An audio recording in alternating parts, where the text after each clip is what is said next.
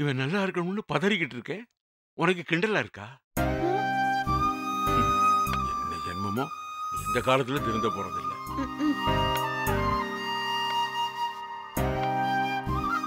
நியாயத்தை கேட்டா ரிட்டையர்ட் கலெக்டருக்கு இப்படிதான் கோவம் வரும். கார்த்திக்? நீரு பெரியம்மா ஏதாவது சூடா கொண்டு வரேன். ஓகே பெரியமா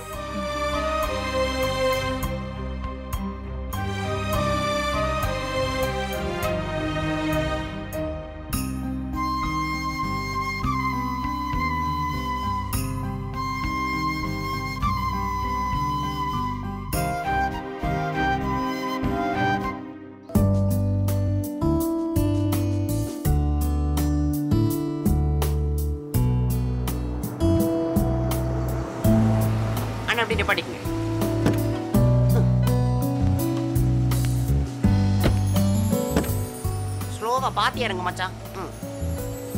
அண்ணா நீங்க கிளம்புங்க. பார்த்து பொறுமையா நட மச்சான். டேய் நடக்க முடியாத அளவுக்குலாம் எதுவும் இல்லடா. பேசாம நீ பார்த்து போ. உன்னை பத்திரமா கூட்டிட்டு வந்து பத்திரமா கூட்டிட்டு போறேன்னு வீட்ல எல்லாருக்கும் வாக்கு கொடுத்துருக்கேன். உனக்கு சின்னதா வலிச்சாலும் எல்லாரும் சேர்ந்து ஏமாண்டியா உடைச்சிருவாங்க? டமால் டுமில். மச்சான் உனக்கு ஒரு விஷயம் தெரியுமா? சொல்லு. கார்கில் போர்ல நாலு மாசம் சண்டை போட்டு ஒரு குண்டூசி அளவு கூட காயம் படாம தப்பிச்ச ஒருத்தன் ரெண்டு மாசம் லீவுக்கு வீட்டுக்கு வந்தப்ப முதல் நாளே தலையில தேங்காய் விழுந்து செத்து போனானா எல்லாம் விதி. ஏய் இப்ப இந்த கதையை எதுக்கு சொன்னனா ஒழுங்கா வண்டி ஓட்ட தெரியாத என் கூட வந்தப்ப கூட உனக்கு ஒண்ணும் ஆகல. ஆனா ஒழுங்கா பைக் ஓட்ட தெரிஞ்ச நீ கீழே விழுந்து இப்படி வாரிட்டு வந்திருக்க. அதான் விதி. விதி ரொம்ப ஸ்ட்ராங் டபுள் ஸ்ட்ராங் ஃபில்டர் காஃபியை விட ஸ்ட்ராங்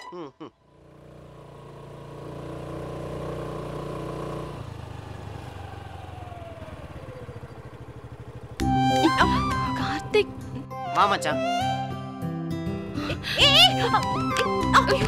பாவி.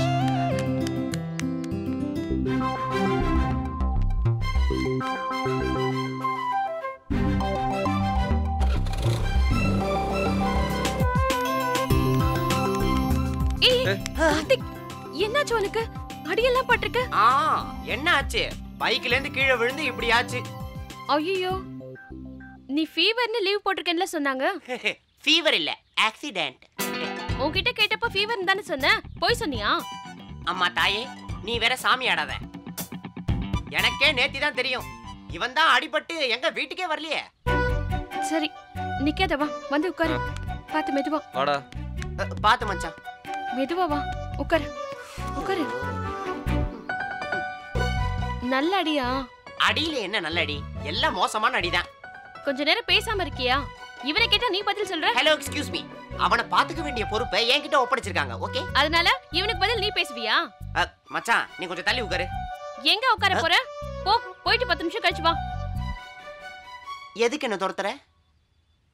அந்த மலர் டீச்சர்.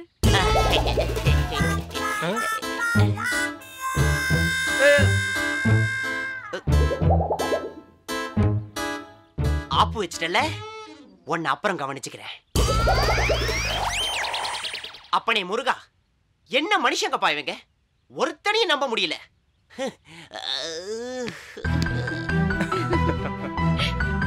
ஆமா மலர் டீச்சர் கதை உனக்கு எப்படி தெரியும்? எனக்கும் ஒண்ணும் தெரியாது. அன்னைக்கு நீ அப்படி சொன்ன உடனே ஷாக் அடிச்ச மாதிரி ஓடுனானே அத வச்சுதான் சொன்னேன். எப்படி அடிபட்டது? ஒழுங்கா பைக் ஓட்ட மாட்டியா? அது பைக்ல இருந்து விழுந்தாதான் இப்படி அடிபடுமா? அப்புறம்? இது ஒரு குரூப்பு ரவுண்டு கட்டி அடிச்சாங்க. அதுல விழுந்த அடி. வாட் உன் மாமா பையன் பிரபாதான் ஆள் செட் பண்ணி அடிச்சு நொறுக்கிட்டான். அவனா? அவன் எதுக்கு ஒன்னு அடிச்சான்? அவனை தான் கேட்கணும் அவன் என்ன அவ்ளோ பெரிய ரவுடியா? அப்பா ஃபர்ஸ்ட் டே காலேஜுக்கு கிளம்பும் போதே சொன்னாரு. அவன் கிட்ட பேசக்கூடாதுன்னு. அவன் எப்படி ஒன்னு அடிக்கலாம்? நீ வேணா கூப்பிட்டு கேள. நீ திருப்பி அடிக்க வேண்டியதானே அட போமா ஒருத்தனா அடிக்கலாம். அத்தனை பேர் வரானுங்க. நான் பாவமா அவ்வளோ பெரிய ஹீரோலாம் கிடையாது நான். பால்சாமி உனக்கு ஆக்சிடென்ட்னு சொன்னா? வீட்டில் யாருக்கும் தெரியாது. தாத்தா மாமாக்கெலாம் தெரிஞ்சா பெரிய பிரச்சனை ஆயிரும்னு அம்மா தான் ஆக்சிடென்ட்னு சொல்ல சொன்னாங்க. என்னால நம்பவே முடியல. இப்படியெல்லாம் கூட இருப்பாங்களா?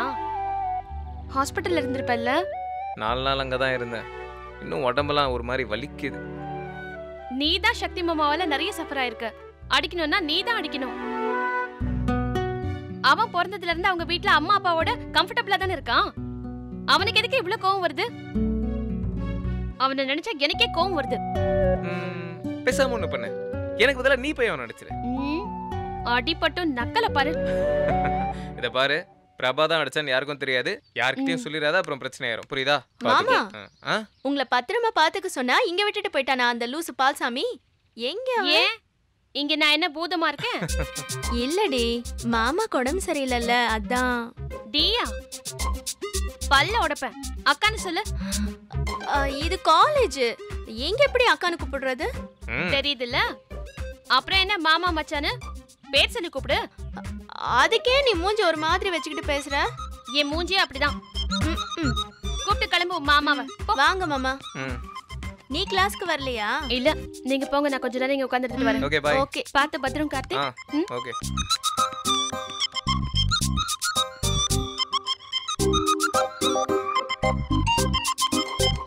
ஏய் என்ன? அவனை பார்த்ததும் அப்படியே வண்டியை விட்டுட்டு ஓடுற? அவன் வெறும் ஃப்ரெண்டுன்னு தானே சொன்ன? ஃப்ரெண்டுனா அடிப்பட்ட டென்ஷன் ஆக மாட்டாங்களா? அடிபட்டிருக்கா? யாருக்கு? கார்த்திக்குக்கா? ஆமா நீ பாக்கலையா நீ பாட்டுக்கு வண்டியை விட்டுட்டு போயிட்ட. அதை எடுத்து வச்சுட்டு பார்த்தா ஃபாத்திமா வந்தா? அவகிட்ட பேசிட்டு இருந்த ஆக்சிடென்ட் ஆயிடுச்சுன்னு வீட்ல எல்லார்கிட்டயும் சொல்லிருக்கான். ஆனா ஆக்சிடென்ட் இல்ல. புரியலடி. பிரபா தான் ஆளுங்களோட சேர்ந்து கார்த்திகா அடிச்சிருக்கான்.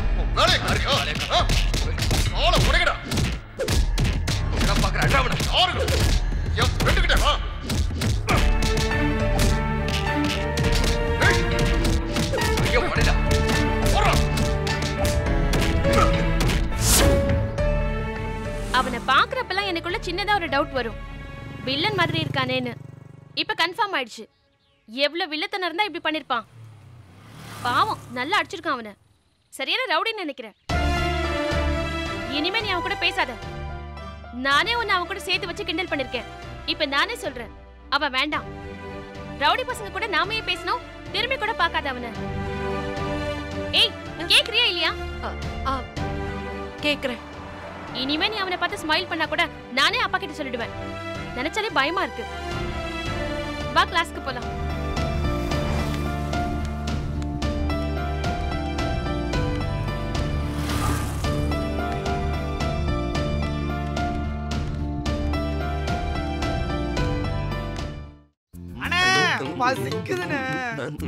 வேகமா என்னப்பா என்னண்ணே கேன்டீனே காத்தாடுது.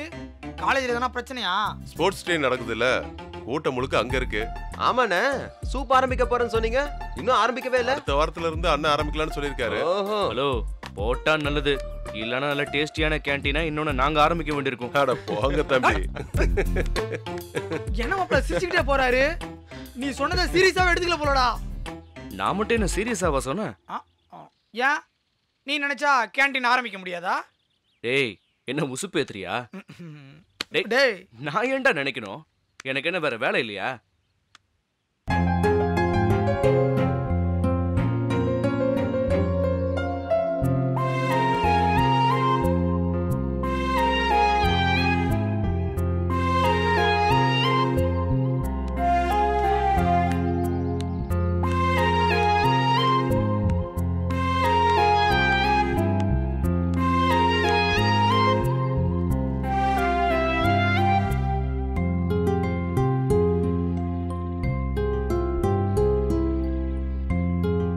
மாப்ள கிளாஸ்ல இருக்கும்போது எட்டி எட்டி பாப்பா? இன்னைக்கு என்னாச்சு?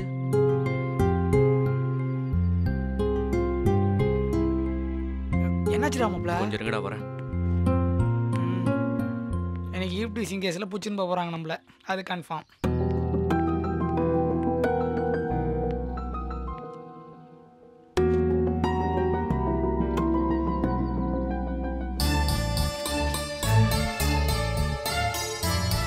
நில்லு என்ன பேசாம போற? உன்னதான் கேக்குறேன். என்னாச்சு? பிடிக்கலையா? பிடிக்கலையான்னு கேட்டேன். என்கிட்ட பேச பிடிக்கலையான்னு கேட்டேன். பயமா இருக்கு. பயமா இருக்கா? ஏன்? நேத்து வரைக்கும் பயமா இல்ல. பார்த்தா சிரிக்க முடிஞ்சது பேச முடிஞ்சது. இன்னைக்கு என்ன புதுசா பயமா இருக்கு? பேச வேண்டாம் நினைச்சா பேசாத. சிரிக்க வேண்டாம் நினைச்சா சிரிக்காத. ஏன் பயமா இருக்குன்னு சொல்ற? நீங்க யாரையாவது அடிச்சீங்களா? நான் நிறைய பேர் அடிச்சிருக்கேன். நீ யார கேக்குற? உன்னை ரேகிங் பண்ணானுங்களே அவனுங்களையா? இல்ல வேற யாரையாவது யாரு? கார்த்திகையா? அவன் ஏதாவது சொன்னானா? உட்காரு. உட்காருன்னு சொல்றேன்ல.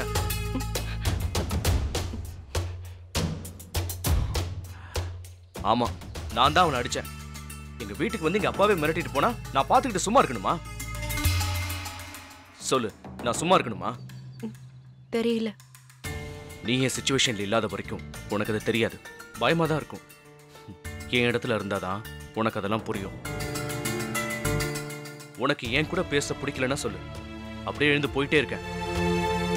தெரியாம கூட இனிமே உன் பக்கம் வரமாட்டேன். இப்படி பேசாம இருந்தா எரிச்சலா இருக்கு. ஏதாவது பேச. பிடிக்கல? அப்படிதானே பிடிச்சிருக்கு. ஆனா பயமா இருக்கு. பிடிச்சிருக்குன்னு சொல்லு. பயமா இருக்குன்னு சொல்லாத. பிடிச்சவங்களே நம்மளை பார்த்து பயப்படுறது ரொம்ப கஷ்டமா இருக்கு. உங்களை பத்தி என்னென்னமோ சொல்றாங்க. ரவுடின்னு சொன்னாங்களா? அன்னைக்கு அவங்க கிட்ட தப்பா பேசினப்போ அதை நான் தட்டி கேட்டேன். அதையும் ரவுடித்தனம் தானே சொல்றாங்க. என்ன பண்ண சொல்ற? நான் அப்படி நடந்துக்கிறதுக்கு எல்லாத்துக்குமே என்கிட்ட நியாயமான காரணம் இருக்கு. நான் எங்கேயாவது தேவையில்லாம வம்பு பண்ண சொல்லு. நான் ஒத்துக்கிறேன். உன்கிட்ட தப்பா பேசினனா ஓங்கி ஒரு அரவிடு வாங்கிக்கிறேன். எவனோ சொன்னதை கேட்டு என்னை பார்த்து பயப்படாத.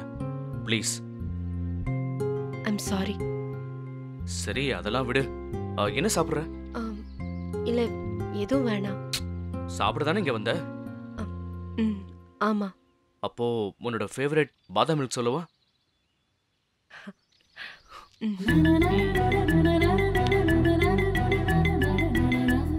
அண்ணே தம்பி. ரெண்டு பாதாம் தாங்க. இதை கொண்டு வர தம்பி. இந்தப்பா. ம் தேங்க்ஸ்ண்ணே ம். இந்தா. சாப்பிடு.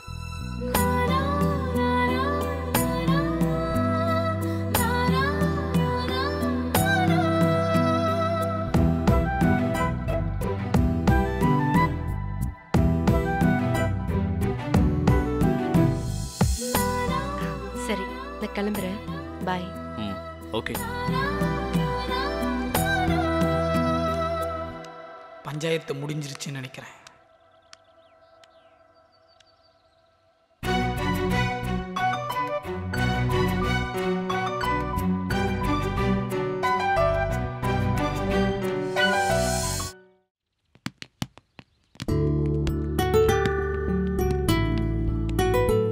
என்னடா மாப்ள நீ என்ட்ரான உன்ன தெரிச்சு ஓடின பொண்ணுலாம் கெல்ல கெல்ல கெல்ல கெல்லன்னு உன்னை பார்க்கும் போதெல்லாம் சிரிச்சிட்டு போகுது. என்னடா சொல்லியா மாத்தன ஏமாத்தினா அந்த கார்த்தி அடிச்சதுல அவ பயந்து போயிருக்கா. என்ன நடந்துச்சுன்னு உண்மையை சொன்னேன் லவ் தீவிரமா போகுது போல? லவ்வா? சும்மா எதையாவது பத்த வைக்காத நீ. அப்புறம் லவ் இல்லாம வேற என்னவா? ம் நல்ல பொண்ணுடா. பாவம். ஓ அதான் நல்ல பொண்ணு தான் லவ் பண்ணுங்க. கல்யாணம் பண்ணுங்க. சந்தோஷமா இருங்க. ஹாப்பி அந்த மாதிரி சாங் சீக்வன்ஸ் கூட நீங்க ஃபாரின் போயிட்டு வரலாம். ஒன்றும் ப்ராப்ளம் இல்லை. இந்த ஃபேமிலில இன்னொரு கல்யாணம் நடந்தா கன்ஃபார்மா வெட்டு குத்துதான் டேய் வெட்டு குத்துல நம்ம என்ன புதுசாவா பண்ணிட்டு இருக்கோம்? இல்ல கேக்குற புதுசாவா பண்ணிட்டு இருக்கோம்? கதையில இந்த மாதிரி ஃபைட் சீக்வன்ஸ்லாம் வந்தாதான் கதையிலேயே ஒரு ட்விஸ்ட் இருக்குண்டா. ஏய் ரொம்ப பேசாத. வா போலாம். உன்னையும் தான்டா சொல்றான். வரேன்டா. வாடா.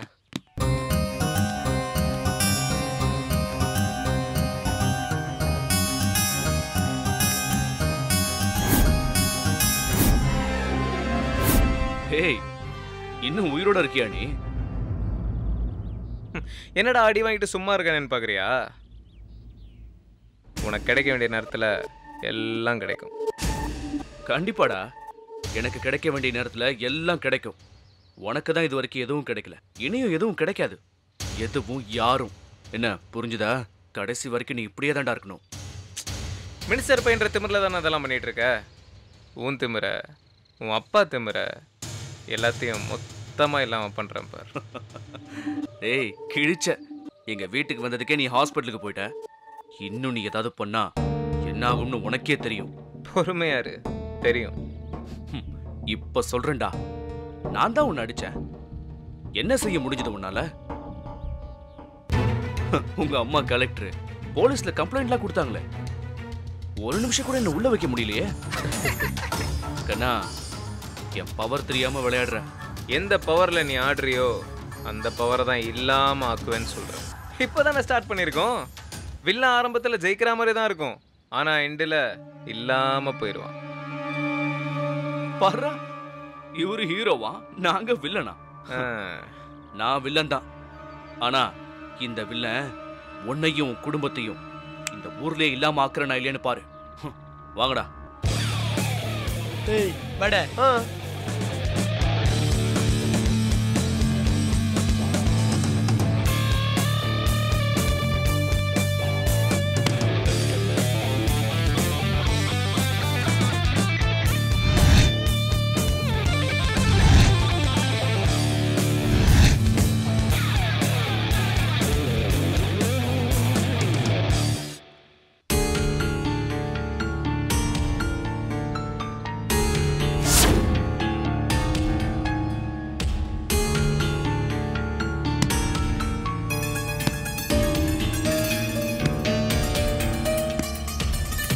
அத்தி நம்மள கொல்ல பாக்குறாங்களே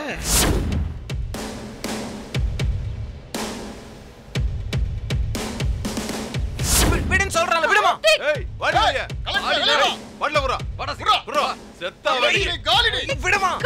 போடா இன்னியோட கதை முடிஞ்சது போடா உயிர் மேல ஆசை இருந்தா வெளியில வாடி.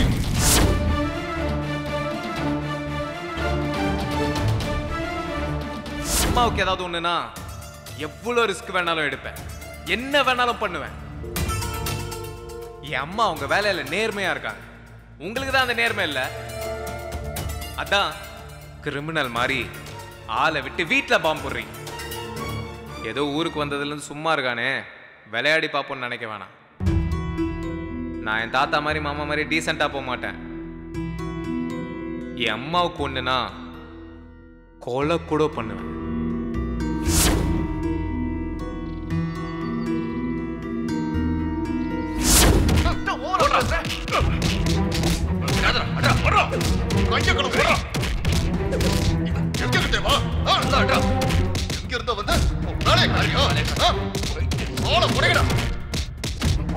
பாக்குறேன் அட்ராவட பாருங்கடா என் ஃப்ரெண்ட் கிட்ட வா.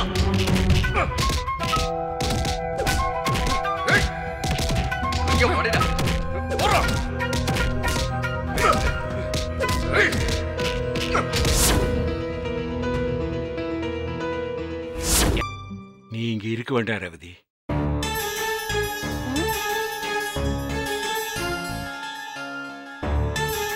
முன்ன மாதிரி. டெல்லிக்கோ? இல்ல எங்க டிரான்ஸ்ஃபர் கிடைக்குதோ அங்க போயிடு. இந்த ஊர் உனக்கு வேண்டாம்.